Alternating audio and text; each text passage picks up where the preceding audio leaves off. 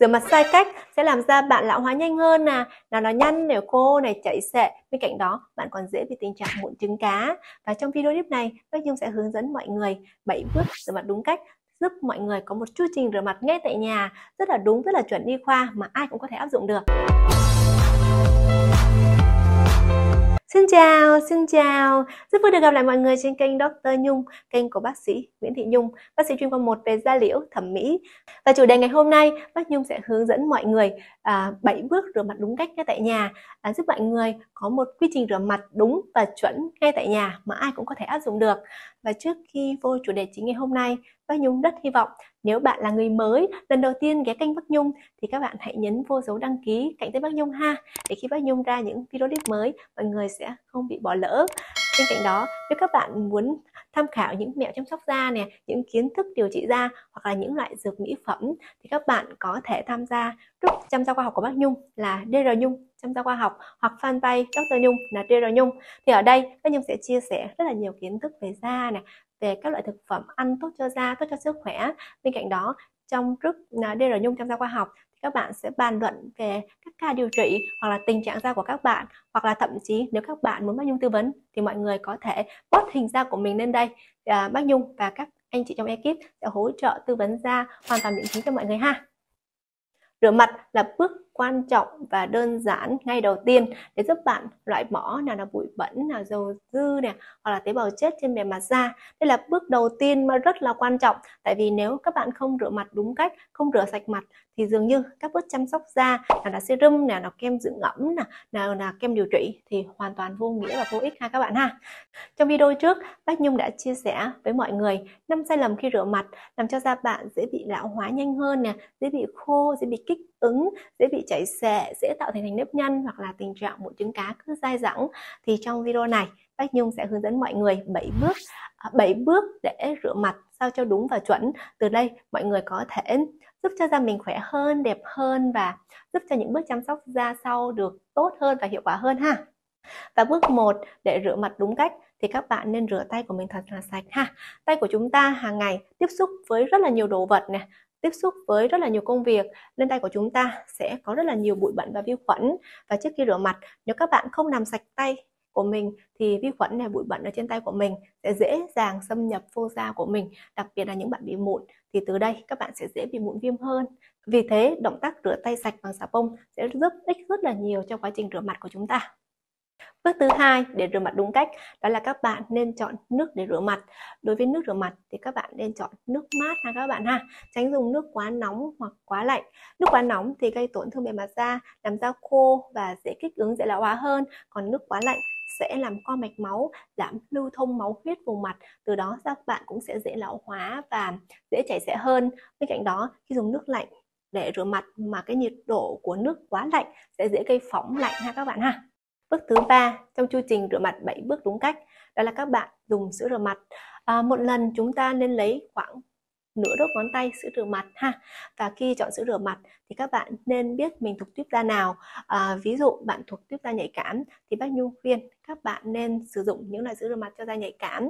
Và những sữa rửa mặt này phải không có cồn nè không có hương liệu nè không có paraben nè hoặc là những không có những cái chất gây hại da. Thì trên đây Bách Nhung có để một số dòng sữa rửa mặt cho da nhạy cảm thì các bạn có thể tham khảo ha. Đối với da thường thì đa số loại sữa rửa mặt nào các bạn cũng có thể dùng được. Tuy nhiên khi chọn sữa rửa mặt cho da thường thì các bạn nên chọn pH từ 5.5 cho đến 6.2. Đây là mức pH rất là lý tưởng giúp uh, rửa sạch mặt. Bên cạnh đó không làm khô da cũng như là hạn chế cái tình trạng tổn thương da, kích ứng da sau khi dùng sữa rửa mặt ha các bạn ha. Còn nếu bạn thuộc tiếp da dầu, dễ sinh nhân mụn thì các bạn nên chọn sữa rửa mặt hơi tạo bọt một chút xíu. Bên cạnh đó, trong thành phần sữa rửa mặt nên có thành phần là BHA hay gọi là salicylic hoặc là cái thành phần benzoperoxide. Đây là hai thành phần giúp làm sạch sâu lỗ chân lông ờ, và giúp hạn chế lên nhân mụn. Bên cạnh đó cũng giúp tiêu bớt lớp sừng, giảm bít tắc và giảm hình thành những cái tình trạng mụn đậm hay mụn trứng cá các bạn ha. Và bước 4 trong chương trình rửa mặt 7 bước của bác Nhung đó là các bạn massage nhẹ nhàng ha.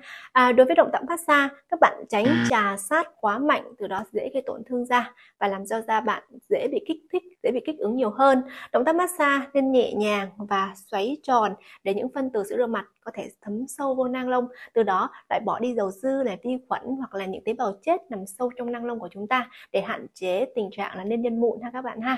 À, và động tác massage này nó cũng giúp kích thích tăng lưu thông máu vùng mặt từ đó da mặt của bạn sẽ có nhiều máu nuôi hơn à, và sẽ giúp bạn có một làn da là căng ẩm và hồng hào và bước thứ năm trong chương trình rửa mặt 7 bước đó là các bạn rửa sạch mặt sau bước massage. Đây là bước rất là quan trọng. Các bạn nên rửa bằng nước mát ha. Các bạn nên rửa sạch tất cả à, bụi bẩn nè, tế bào chết nè, dầu dư và những cái ờ, bọt của sữa rửa mặt. Các bạn nên rửa thật là kỹ, tránh để tồn động sữa rửa mặt trên mặt mình. Từ đó sẽ dễ làm cho bạn dễ bị nên những cái nhân mụn hoặc là những cái tình trạng kích ứng hoặc là kích thích sau khi rửa mặt và bước thứ sáu trong chu trình rửa mặt 7 bước của bác Nhung đó là các bạn dùng khăn chuyên dụng. Lưu ý đó là khăn dùng cho da mặt ha. Thì đối với những cái khăn mà rửa mặt cho da mặt thì thường những cái sợi bông hoặc những cái sợi len hoặc là những cái chất lượng vải nó sẽ mềm, nó sẽ uh, mềm mại và nó sẽ phù hợp đối với cái làn da mỏng manh với kích ứng của chúng ta. Và các bạn sẽ thấm nhẹ nhàng cái nước còn trên mặt mình à, sau đó các bạn sẽ bỏ cái khăn này đi giặt luôn. Tránh một cái trường hợp là nhiều bạn sau khi đã thấm nước ở trên bề mặt rồi các bạn lại vắt lên từ đó vi khuẩn dễ tăng sinh trong cái môi trường ẩm ướt mọi người ha. Và bước thứ bảy trong chu trình rửa mặt đúng cách đó là các bạn nhớ bôi kem dưỡng ẩm sau khi rửa mặt. Sau khi rửa mặt nhiều bạn à, ý, ý là sẽ không bôi gì. Tuy nhiên à, các bạn nên bôi kem dưỡng ẩm tại vì một lớp kem dưỡng ẩm sẽ hạn chế mất nước cũng như là giúp cho da bạn mềm mại và ẩm mịn nhiều hơn. Từ đó da bạn sẽ giảm nguy cơ là khô hay là lão hóa hay là kích ứng. Nghe tới đây thì các bạn đã biết tầm quan trọng của rửa mặt đúng cách là như thế nào rồi đúng không? Rửa mặt đúng cách sẽ giúp bạn có một làn da khỏe hơn nè, giúp bạn loại bỏ bụi bẩn nè, vi khuẩn nè, dầu dư, từ đó hạn chế được các bệnh lý về da liễu như là mụn nè, là nám nè, là lão hóa nè, nào là da khô, nào là da chảy xệ ha. Bên cạnh đó, nếu bạn rửa mặt đúng cách thì các bạn còn tăng lưu thông máu cho vùng mặt, làm cho da bạn trẻ hóa và hồng hào hơn. À, bên cạnh đó, nếu mà rửa mặt đúng cách, nó cũng là một cái bước rất rất là quan trọng để cho các bước tiếp theo, nào là serum nè, kem dưỡng ẩm nè, kem điều trị sẽ à, tăng hấp thu và tăng đạt hiệu quả cao nhất. À, nghe đến đây thì chắc là bác Nhung tin rằng ai cũng sẽ có dễ dàng xét cho mình được một chu trình rửa mặt rất là đúng, rất là chuẩn ngay tại nhà. Nếu các bạn thấy video clip của bác Nhung hay và hữu ích cho bản thân của mình, đừng quên like nè, share và đăng ký kênh bác Nhung. Đặc biệt nhớ nhấn vô dấu quả chuông để khi bác Nhung ra những video clip mới, mọi người sẽ không bị bỏ lỡ ha. Bất kỳ ai có câu hỏi thắc mắc nào về da, về cuộc sống nè, về những cái vấn đề xoay quanh vấn đề sức khỏe thì mọi người có thể comment xuống dưới. Khi bao Nhung thấy bao Nhung sẽ trả lời mọi người một cách nhanh nhất ha. Xin chào và hẹn gặp lại mọi người trong những video clip tiếp theo.